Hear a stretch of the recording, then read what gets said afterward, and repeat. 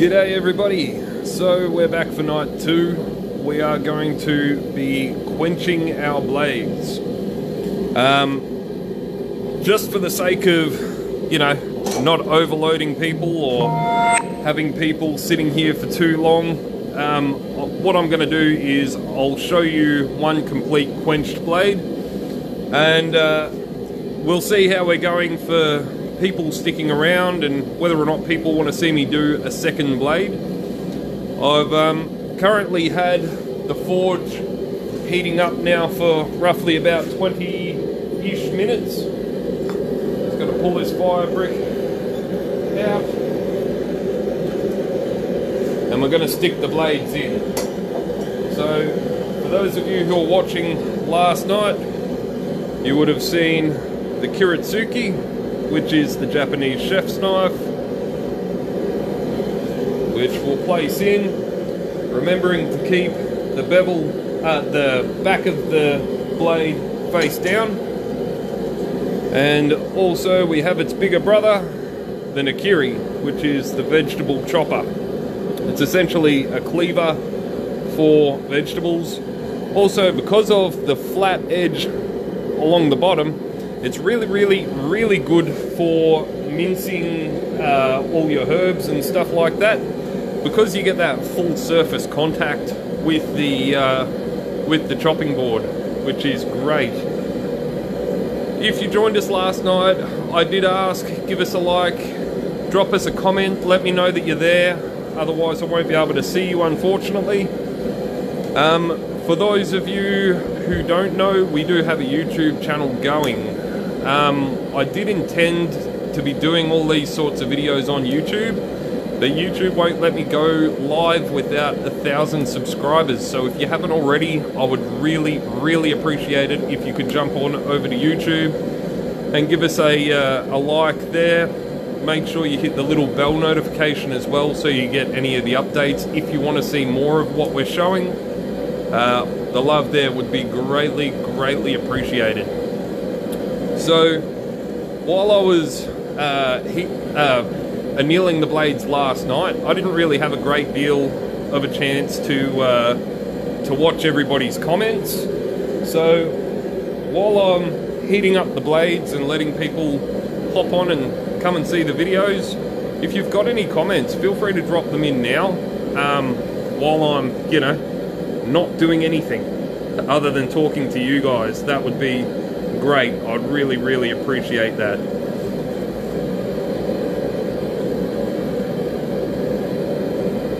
Also, if there's anything that you guys want to know about these knives, drop that below too. Um, you know, people are always asking, can you do this? Can you do that? What knife would I use for this? Chuck it in. I'd love to know because at the end of the day, you know, I'm here to learn, but I'd also like to teach as many people as I can. G'day, Mikey. Um, yeah. So I mean, it's not every day that uh, that you get to see this sort of stuff. It's not every day that you get to do this stuff. So I feel pretty lucky. What does a knife cost? That's a great question, Reese. Um, depending on the knife. I mean, what we do and how we do it takes a real long time. So each of these knives have about 40 odd hours in them. It's all hand sanding, cutting everything by hand, doing all the, the right steps, the annealing, the heat treating. The average knife costs around 450, um, thereabouts. Um, but yeah, there's just so much love that goes into it. I mean, I, I care about these knives so much that if I feel like somebody's just going to use and abuse the blade, then I actually won't put the time and effort in. I won't sell it to them. We want all of these knives to uh, to be appreciated, appreciated and cared for. You know, like what we do. Thanks very much for joining us, Diana. We uh, we certainly do love the knives, and as Mel pointed out last night, you know, I've got to get around to making one for ourselves. That would uh, that that should be next on the goal before spring comes, and we're full steam ahead back into the bees.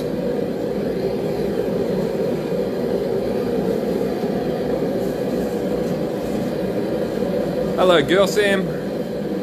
How are you? Thanks for coming along.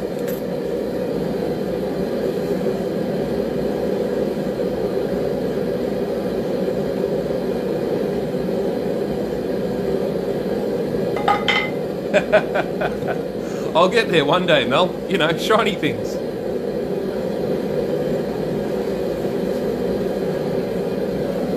For those of you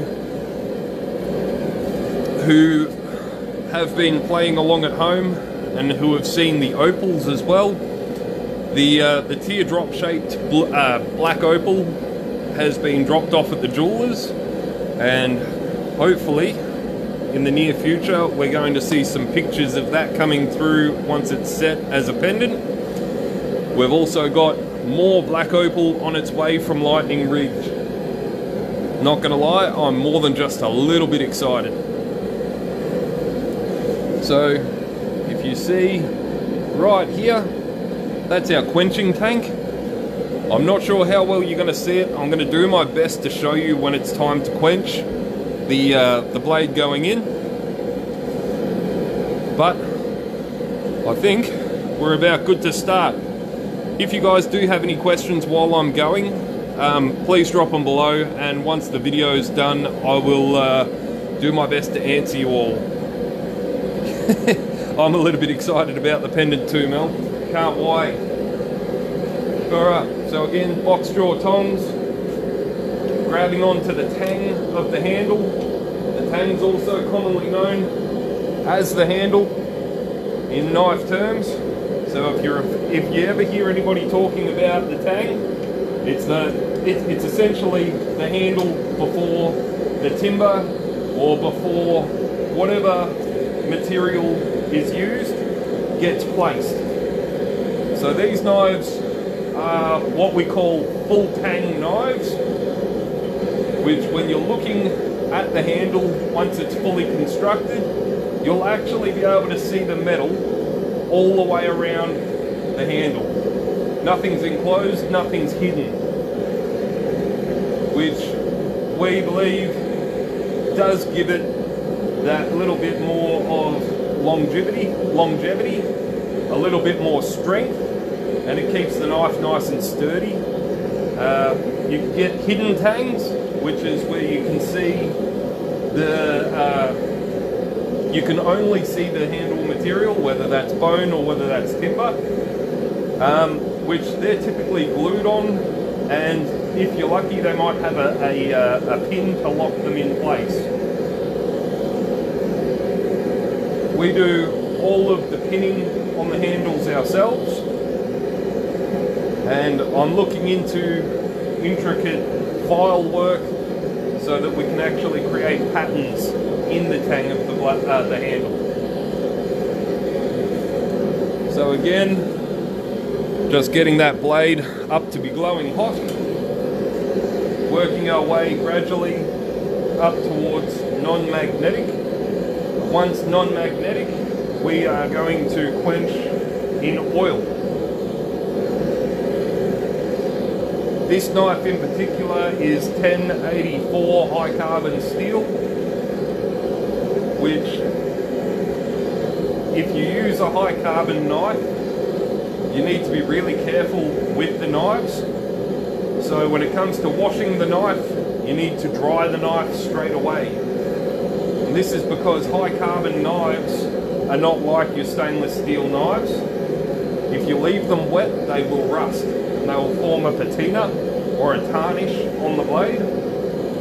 If you're not going to be using the knife for a long period of time, we recommend that you oil the blade just to give it a protective coating. So the good side, or one of the big positives to high carbon steel knives, is their edge retention. They're a lot harder than a stainless steel knife, which means that they'll hold their cutting edge for a lot longer, which will make your time in the kitchen, I would imagine, much more pleasant than trying to cut with a dull knife. one of the most recent knives that we've done. I actually used it to test and it was shaving sharp. I had the smoothest forearm on the block. Right, so we just give it a quick test with the magnet. We are still fully magnetic. Remembering we want to hit that sweet spot. It's between 820 and 850 degrees centigrade or 1800 to 1900 degrees Fahrenheit. When I say that this thing's bloody hot, it's bloody hot. You'll know it if you drop it on your foot.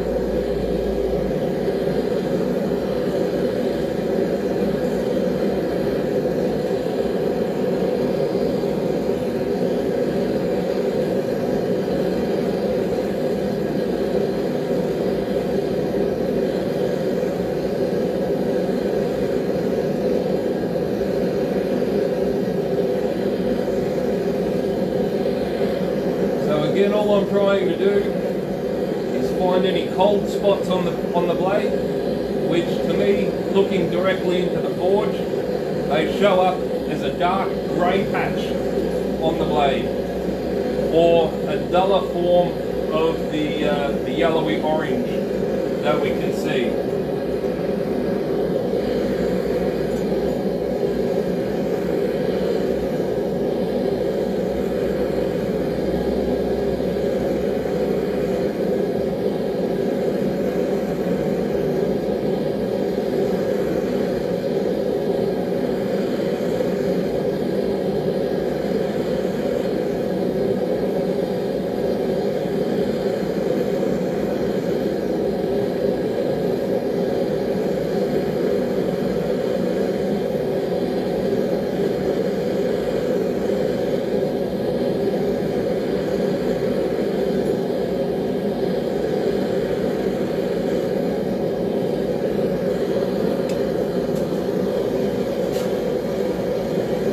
Right in the middle of the blade, we're now non-magnetic.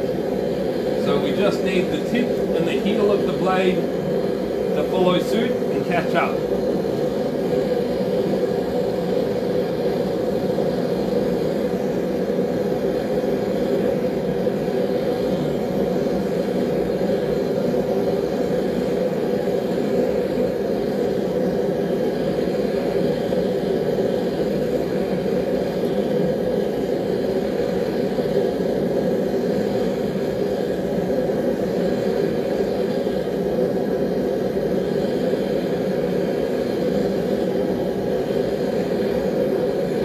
Time to quench.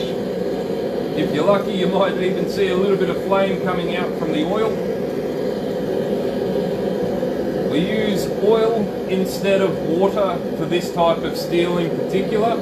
You can get water hardening steels, but they tend to be your, uh, your tool steels. For example, what you would make a hammerhead out of, that's a W1 steel. The W stands for water hardening and the reason why we do oil hardening instead of water for this type of steel in particular, this steel doesn't want to be cooled down as quickly as what water will. There's some steels that you need to use liquid nitrogen to actually cool them down to a sufficient temperature fast enough. There's also other types of steel that we want to quench with air just simply by waving them through the air. There's others that want to be cooled down very, very slowly using vermiculite. Vermiculite's a, uh, a special fire retardant um, material, which for those of you who don't know, I used to work in construction and I used to do vermiculite spray on buildings. And it's becoming quite popular, popular now because the, the vermiculite when it's bonded onto steel actually helps to protect the beams and helps to save lives because it gives firefighters that little bit of extra time to get people out of fires. It's a really, really important, uh, important thing that's been finding its way into the construction in industry lately. Really good to see, especially with this Australia and the amount of fires that we do have. Tell you what, the Aussies are onto it.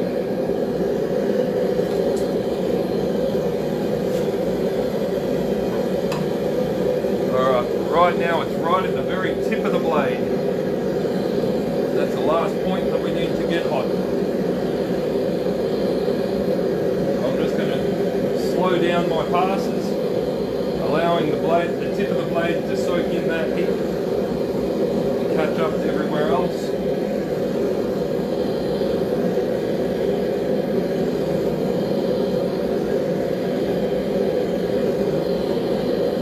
Just trying to remove that last hint of shadow right at the end of the blade. Please guys do remember to drop in any sort of questions or whatnot that you have. I'd love to read them all and get back to you all. We are trying to show people what they want to see, not just what I like doing. If you've got anything in particular that you know about that you want explained further, if I don't know the answer, I'll do the research and I'll let you know so that you don't have to spend the hours and time in, uh, in learning something. I'm good like that. Winter's, uh, winter's quite a big thing for Bored Sam. Bored Sam gets very bored, so he lights fires in his garage and makes knives. Makes other knives fall down on top of the other one too.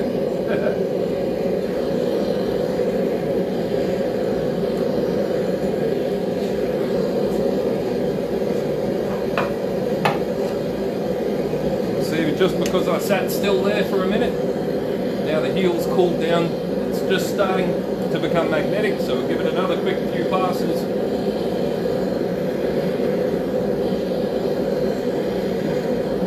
Minor things that make all the difference.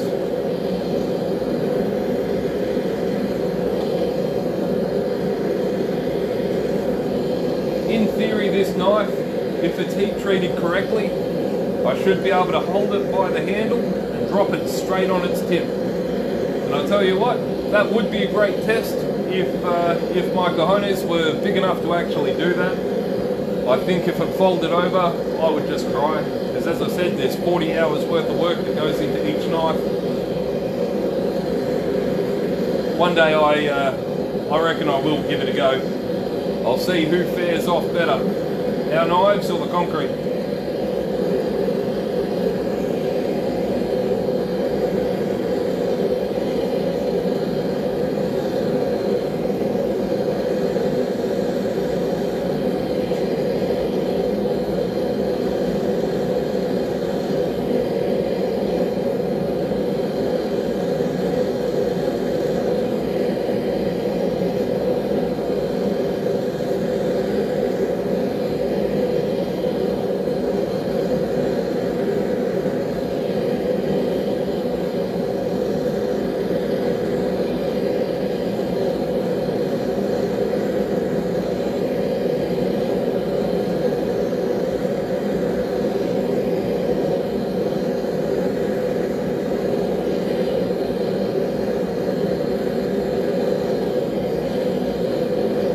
When it comes actually do the quench, I've got to be bloody quick because it's so cold.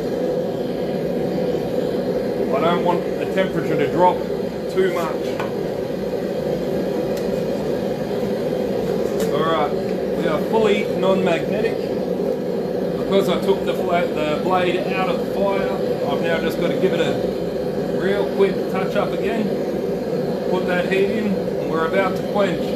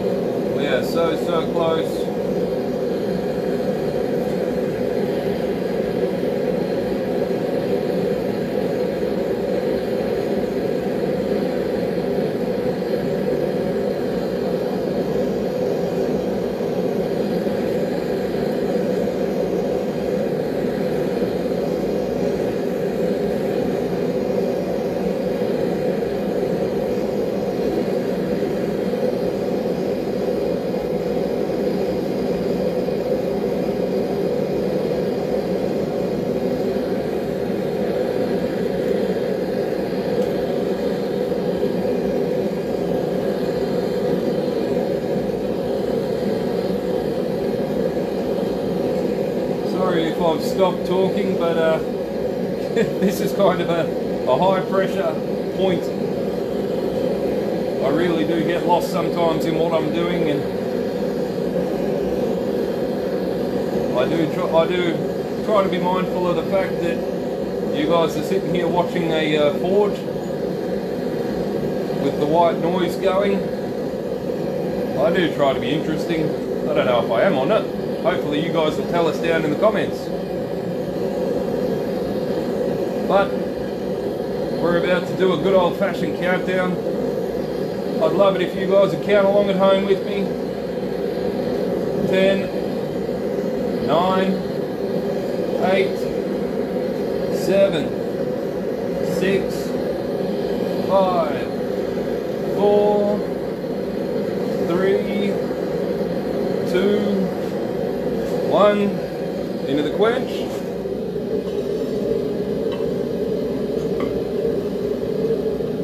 Now moving the blade up and down because of the heat of the blade, it's going to create a lot of air bubbles. And that air bubbles locks in the heat around the blade, which will mess up our temper, our quench. We do not want to mess that up. So we keep plunging it around, mixing it around, giving it a good dunk.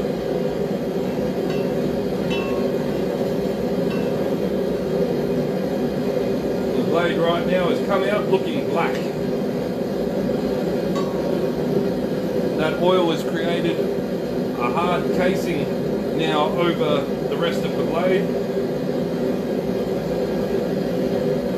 which is just the carbon that's built up. I don't know how well you're going to be able to see that, but it is black upon black upon black, which is beautiful.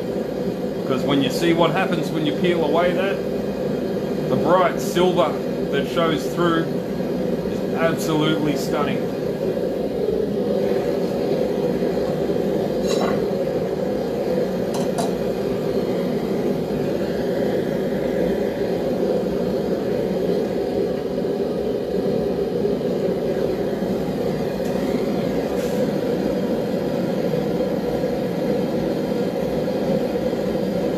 Where are those knives going to if they're not in our kitchen? That's a great question, Mel. So, those knives are going to be going to the Kooyong Tennis Club.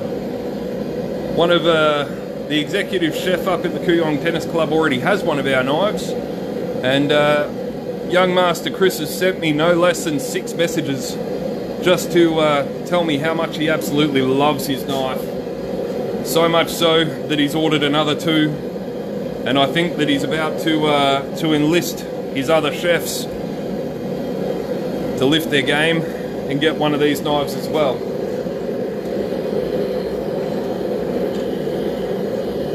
I don't know how you guys are feeling. I think I'm going to let the video keep going. So for those of you who have watched me this far, I really do appreciate your time and thanks for coming along. If you want to stick around for a bit longer, I'd appreciate that even more you know, just being out here in the shed, just me and the forge, it's a little bit late.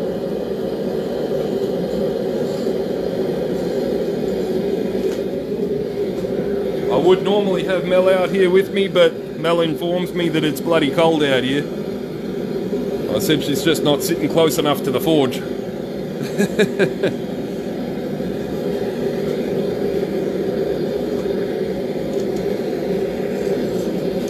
Alright, here we have the Nakiri for round two.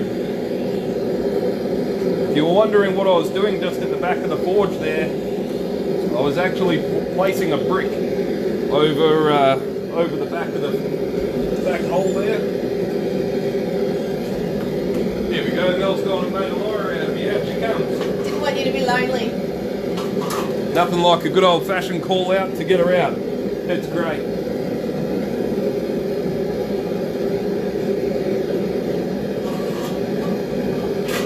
Please guys, right now I'm actually looking for my uh, my wire brush, which I've played hide and don't peek with. So if you don't if you do have any questions, please drop them below now while I'm uh, trying to find my stuff so that I can actually answer any of your questions.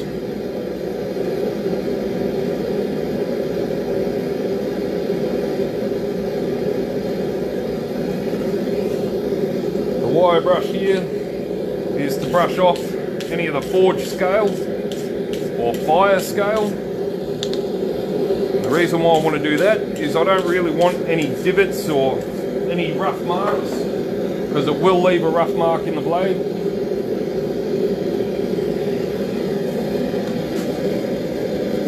G'day Aiden, good to see you. G'day Jaden, good to see you.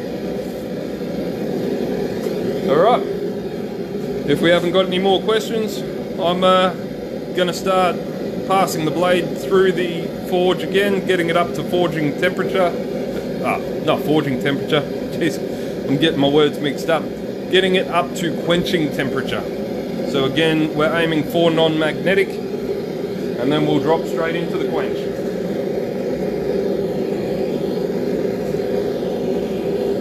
Given that we've got Mel out here, I'm, I'm I can only assume that Mel's watching this live on her phone. Can read out any uh, questions that anybody has, which means that you don't have to look at me while I'm sitting here silent, concentrating on the knife. She can give me somewhat of a distraction. Hopefully that's you guys.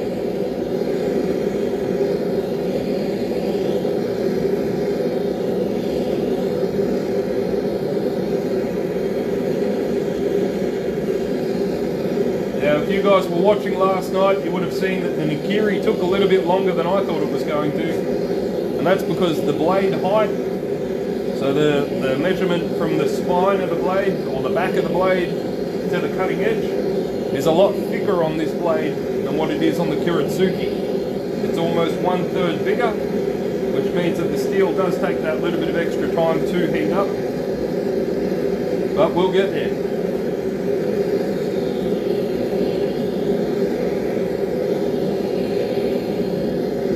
Aiden would like to know how long does it take to properly cook a marshmallow in there?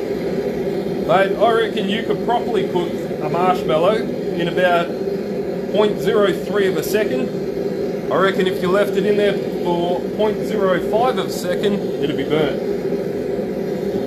Jaden said hello, sweetheart, G'day, lovely. How are you, mate? and hi to me too. Hi, Jaden. Jaden and I go way back. Never went to high school together, but you wouldn't know it.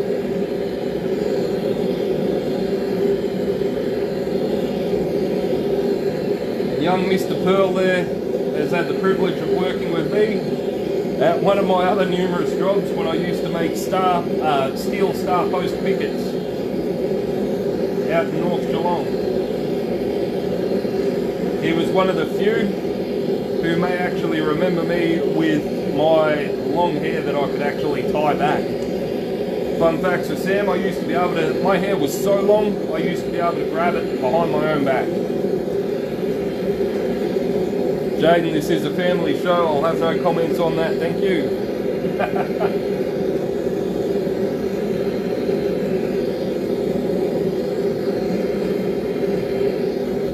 Alright, so we're looking really, really good through the tip of the blade to the midsection of the blade. Just trying to push that heat further back into the heel. How we looking, Mel? Any other questions? No, the caveman, that was impressive.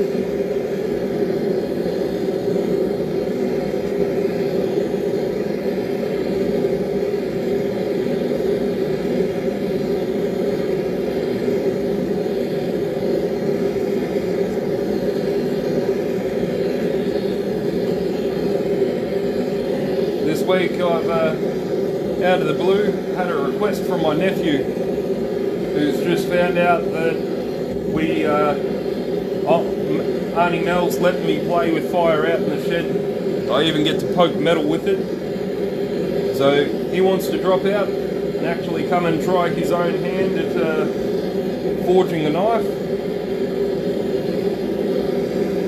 Which I'm a little bit excited for. Getting the young lad away from the computer and teaching him how to use his hands, get some skills. It'll be a good thing. Aiden would like to know what's the purpose of this process over what we watched last night. Alright, so last night we were annealing the steel. And if you were here with us, or if you weren't here with us, more to the point, annealing the steel essentially making it relax. When you work the steel, it builds up a lot of stress and a lot of, a lot of tension. Think of like when you've had a really hard day at work. You're overworked, you're underpaid, you feel really, really stressed. Now, if you don't release that stress, wow, this is about to go real philosophical. If you don't relieve, release the stress, the steel will crack. There may be hairline cracks through the core of the steel that you can't see. It may manifest on the surface, but it's a weakness. It's a weak point in the blade. And the last thing that we want is, especially for this, which will be used for pumpkins, rock melons, stuff like that, very hard fruit and vegetables. If there's a weakness in that blade, then you're potentially going to have half the blade fly off mid-swing. Now, this one, this, what we're doing here tonight is quenching or hardening the steel. This is what will keep your cutting edge. This is what gives the blade the toughness. It's going to make the, the, the blade as hard as hard can be. So we've worked the, worked the steel, we've made it stressed, we've relieved it, and now we're going to harden it. The problem with uh, steel being stressed and you're not annealing the steel as well, some parts of the steel will be harder than others. Man, I don't know about you guys, but you should see Mel's face. It's almost like I'm dropping a whole heap of dirty jokes. She is giggling upon giggling off in the background when she should be reading comments. She's looking at me like I'm using euphemisms. I'm just talking about me hard steel. I didn't mention wood. We're talking about relieving stress. Aiden said, do you do the tang also or just the blade? Uh, just the blade, buddy. So, the, the because the tang won't be getting quenched, there's no real need to be uh, to be going that far. But when you harden the steel, it, it, it does increase how brittle it is. It's a real fine line between getting a flexible blade and a, a strong blade. Your thin, flexible blades are really, really good, but they're typically made out of stainless steel, which is not a bad thing, but stainless steel, it says it all in the name. It stains less. So it's not stain proof, but it stains less, but it also doesn't harden as much as high carbon steel. So the edge retention on the high carbon blades are far better than with a stainless knife. These guys are designed for straight out performance, but you've also got to care for the blade. So to answer your question, no, we don't harden the actual the, the tang of the blade or the handle of the blade, pure and simply because that, that's not going to be functional. We want the handle to actually be softer than the blade so that when we are cutting through hard pieces of fruit and vegetable, that there's some give in the blade. We want somewhere for the shock and the stress of use to actually go so that we're not developing cracks or fractures within the blade. Just let me know. Does that answer what you're wanting to know, buddy? Not sure about Aiden, but Jaden's finding it uh, difficult not to make jokes. Ah, And uh, Matt has said, hey Sam, slower. slower. Am I talking too fast? What? Or what? Aiden said yes, it answers his question. Jaden said he's glad that he's not there, otherwise he'd be laughing along with me.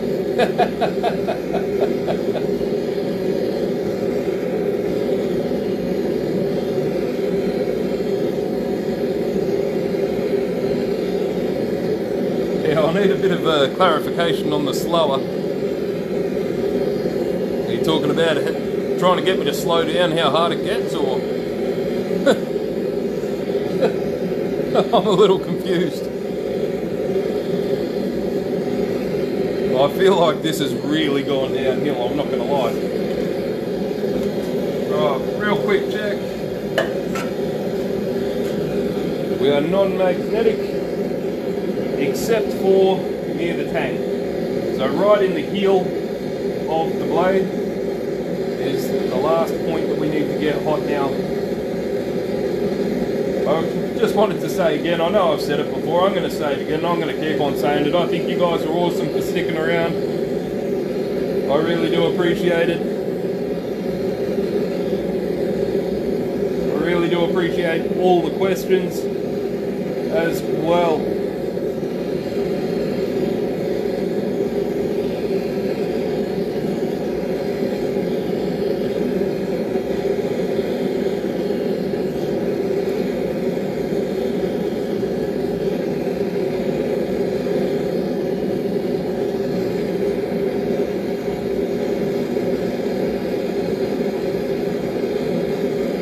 How's the temperature in the shed now, Mel? Temperature's good, but my feet are still cold. Need to put some Uggs on, Uggies on though. Yeah. Matt said you need to slow the thrust.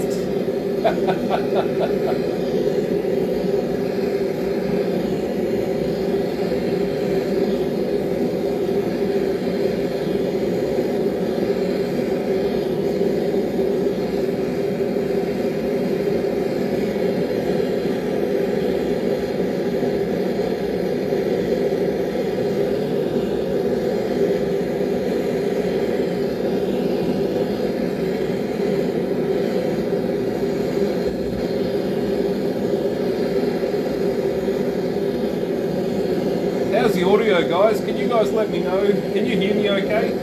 I really do feel like I'm yelling just because the forge is so loud.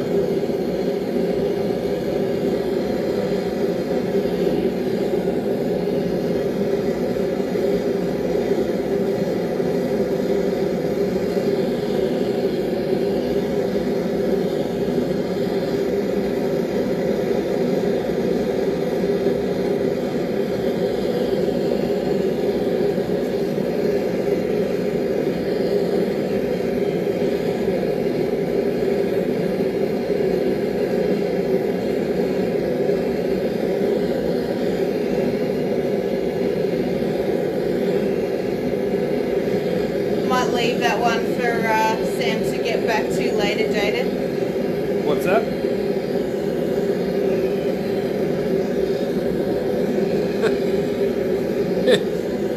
you can't call that out and not bloody tell me. Stop it, Jaden and Matthew. Remember, this is a family show. Try and at least keep it M-rated, guys. I know it's after nine, but you know, Audio's fine. thank you, And Matt's going to stop now. thank you.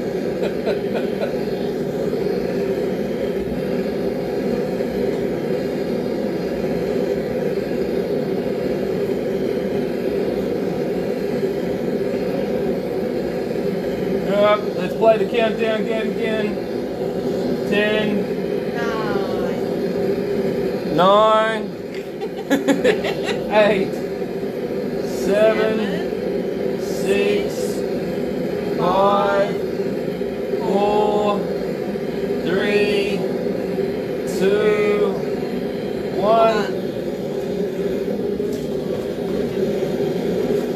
Straight into the quench.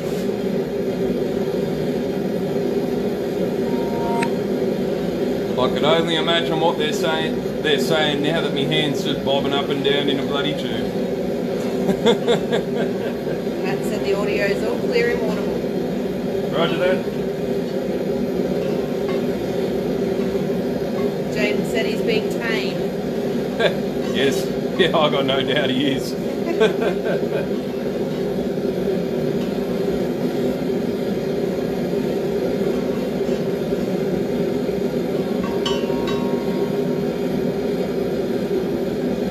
there we have the hardened Nakiri.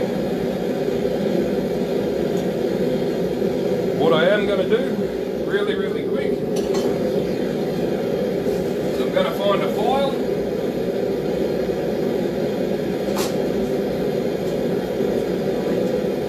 And we're going to test out the blades. While wearing gloves, because that's still hot. right. Now skating along the edge, this file's not actually biting into the blade. It's just skating across like glass. And it's not biting in on any one section. What this means is that the blade is hardened the full length of the cutting edge. We'll get the Nakiri. Same thing. It just skates across the edge, which is exactly what we wanted. It means that our blade is hardened and is now, now ready to move on to step. Matt said it was a little bit too dark to see the quench properly. Yeah, I wasn't sure if it was actually going to flame up or not, but unfortunately, to be able to get things the way that we need to, so that you guys can see it well, I'm just trying to make uh, make as best use of the shed as I can, and unfortunately, I've still got too much stuff bloody everywhere. So we'll uh, we'll try and improve that for you guys as time goes on. Ever aiming to get better and improve. G'day AJ, good to see that you're on. Alright guys, I'm going to cut it off there. And um, yeah, as I said, if there's any more questions, drop them below. If there's any more dirty jokes, yeah, no, look, I'm not going to lie, drop them below too. That's cool too. Maybe PM them. Well, or you can PM, that's cool. Righto, Mel. Thanks for watching, guys. I really do appreciate your time. I really do appreciate you guys joining in. The next step will be polishing the blades. So we're going to take them all the way down to their cutting edge. We're going to take off all the forge scale and start to get handles ready for uh, moving towards the final piece. Thank you guys. As I said, we have got the new YouTube channel coming up. Please jump over and give that a like and uh, hit the notification bell so that you receive the new videos.